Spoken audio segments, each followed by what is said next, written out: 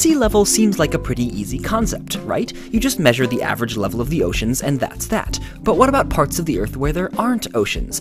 For example, when we say that Mount Everest is 8,850 meters above sea level, how do we know what sea level would be beneath Mount Everest since there's no sea for hundreds of kilometers? If the Earth were flat, then things would be easy. We'd just draw a straight line through the average height of the oceans and be done with it. But the Earth isn't flat. If the Earth were spherical, it would be easy too, because we could just measure the average distance from the center of the Earth to the surface of the ocean. But the Earth isn't spherical, it's spinning, so bits closer to the equator are thrown out by centrifugal effects and the poles get squashed in a bit. In fact, the Earth is so non spherical that it's 42 kilometers farther across at the equator than from pole to pole.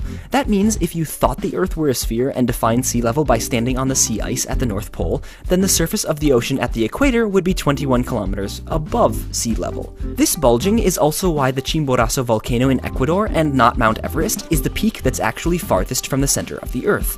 So how do we know what sea level is? Well, water is held on Earth by gravity, so we could model the Earth as a flattened and stretched spinning sphere, and then calculate what height the oceans would settle to when pulled by gravity onto the surface of that ellipsoid. Except the interior of the Earth doesn't have the same density everywhere, which means gravity is slightly stronger or weaker at different points around the globe, and the oceans tend to puddle more near the dense spots. These aren't small changes either. The level of the sea can vary by up to 100 meters from a uniform ellipsoid, depending on the density of the Earth beneath it.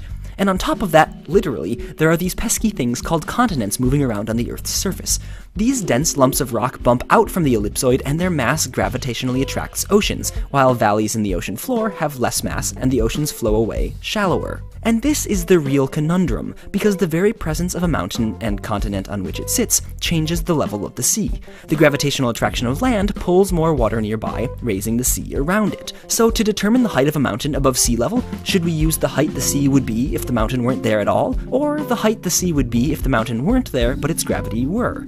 The people who worry about such things, called geodetic scientists or geodesists, decided that we should indeed define sea level using the strength of gravity, so they went about creating an incredibly detailed model of the Earth's gravitational field, called creatively the Earth Gravitational Model.